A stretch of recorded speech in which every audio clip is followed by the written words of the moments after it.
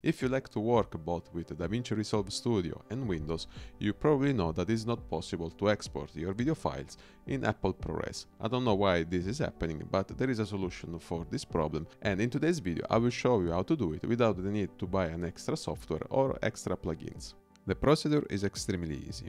If we need to deliver all the videos with the same frame rate as one file, we drop everything in the timeline of DaVinci Resolve Studio, we select the proper export resolution and we export the file with the codec DNX HR444 12-bit to preserve the maximum quality possible. When we finish, we close DaVinci Resolve Studio and we download and install Fusion Studio from Blackmagic Design website. Normally it should open without asking the activation key, but if you cannot let it work, simply deactivate the license inside the DaVinci Resolve Studio and use the same key on Fusion Studio.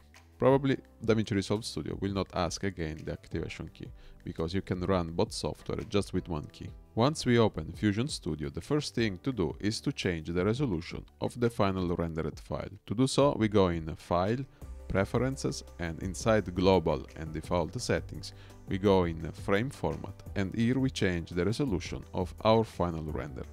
We click save and then we drag and drop inside the flow the clip we need to transcode that we can preview clicking one or two in the keyboard. Keeping selected the clip in our flow, we click Ctrl space to open the search bar and we type SV, that is the saver, and then we simply click enter. A new window will open where we can create a folder or navigate to the desired folder we can rename the files and we can already set our container format. And in this case, we will select the MOV. In the inspector page of the saver, you can still change a couple of settings if needed. For example, in file you may want to change the container to something you prefer. In legal you can change the video type from PAL to NTSC. And in format you can select the type of compression.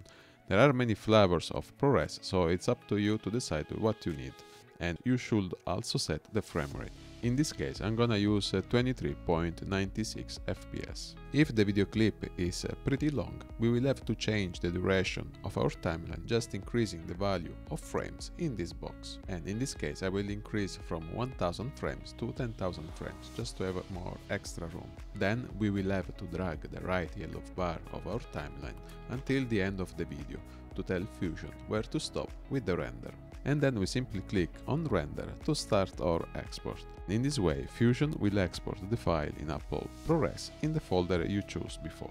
I hope you have found this uh, quick tutorial efficient and if you did it, please uh, like and subscribe to support my work because the YouTube algorithm doesn't really like uh, short videos. Thank you so much for watching and I'll see you in the next one. Ciao!